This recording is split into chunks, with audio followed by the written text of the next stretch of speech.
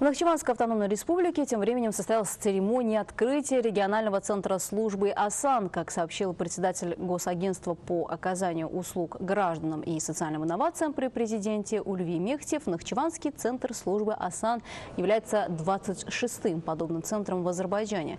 Его строительство началось в 2020 году и было завершено в мае этого года. Для граждан Нахчевана здесь будут оказываться все необходимые услуги.